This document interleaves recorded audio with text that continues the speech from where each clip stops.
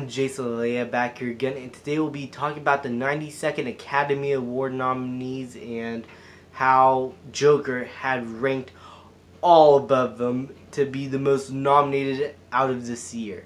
Like, it got 11 nominations, so let's just go over the nominations it got. For Best Picture, Best Director, Best Actor, Best Adapted Screenplay, we get, also got Best Original Score. We got Best Sound Editing. We got Best Sound Mixing. We got Best Cinematography. We got Best Makeup and Hairstyling. Best Costume Design. And Best Film Editing. This is incredible. Like the editing and technical stuff. I didn't even know Joker would get nominated for that stuff that's incredible how they're able to sweep in 11 nominations despite all the backlash from the critics and everyone trying to put a negative spin on this film. It is incredible how they're able to get a billion dollars, ranking a ton of money, be the most profitable comic film and one of the most profitable films ever made, and having now received all these Oscar nominations is just proving everybody wrong. Nobody cares about the political correctness of certain things.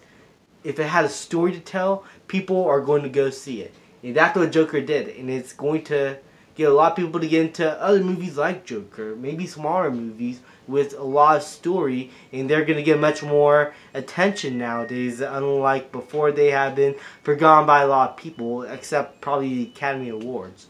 But we also got a few good gems in there, like Avengers Endgame for visual effects.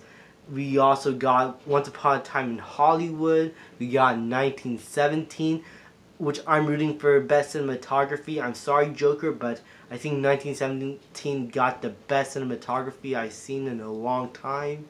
We got The Irishman for Martin Scorsese, Best Director and Best Picture. So it's going to be tough competition there. We got Parasite, which I haven't seen yet, but I heard really good things about. And I think it's going to be the movie to win the Best International Film Award. We got Leonardo DiCaprio and Adam Driver in there going up against Joaquin Phoenix.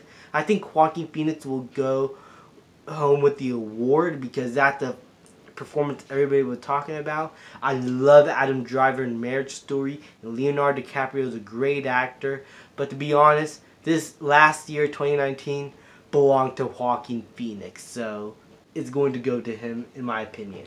Best Supporting Actor, we got Anthony Hopkins, Al Pacino, Joe Pesci, Brad Pitt. I think Brad Pitt will go home again, while Joe Pesci and Al Pacino, while great, are gonna like have like a Golden Globe thing where Brad Pitt wins, and yeah, he was really good in the movie too.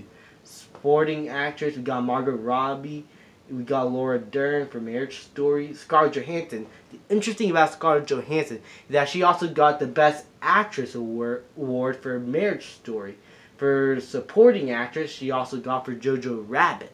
This is interesting. She, she might get go home with two awards. It seems like.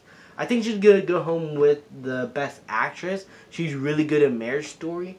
But it's going to be really impressive if she's going to go home with two Academy Awards. That's going to be impressive. So, Best Adapted Screenplay, The Irishman and Jojo Rabbit. I think Joker might go home with it. Best Original Screenplay.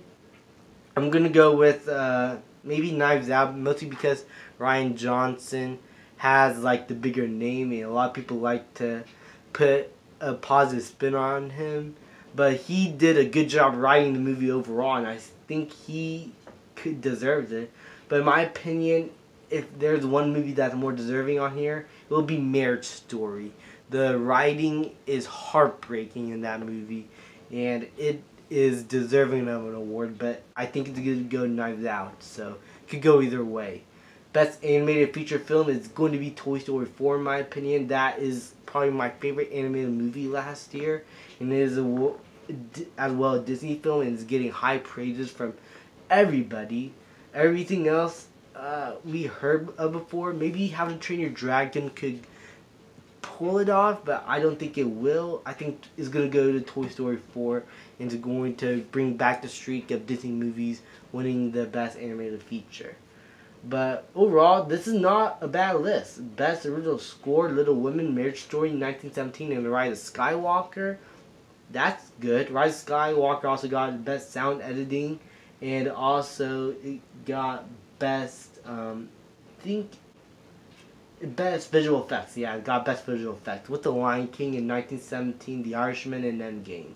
So this is a great list of movies. I am excited about this. I mean, a lot of these movies are actually great.